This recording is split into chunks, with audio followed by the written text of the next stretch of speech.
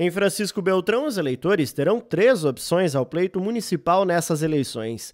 Pela coligação Beltrão no caminho certo, dos partidos PP, PDT, MDB, Podemos, PRD, Novo, PSB, União e Solidariedade, o candidato a prefeito é Antônio Pedron, pelo MDB, tendo como vice a professora Ludinha do Podemos. Fazer uma administração baseada na tecnologia, na gestão, especialmente muita gestão, para que você consiga atingir todas as secretarias de uma forma eficiente, esse no sentido de administrar melhor o recurso.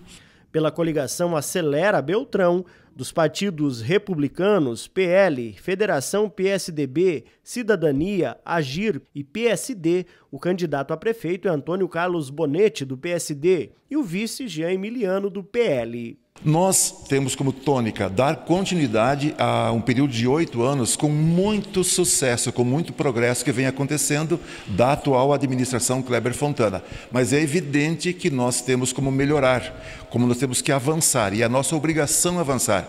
A Federação Brasil da Esperança, formada pelos partidos PT, PCdoB e PV, lançou a Roselene da Cruz Bacégio, do PV, candidata a prefeita, e vice a professora Cléo, do PT. Pensamos realmente em administrar Francisco Beltrão para todos. Nós queremos uma administração completamente inclusiva, onde todas as pessoas tenham direito e tenha vez e voz. A nossa administração não será minha administração. Para a Câmara de Vereadores, 167 candidatos se registraram no Tribunal Superior Eleitoral para concorrerem a 17 vagas no Legislativo Municipal.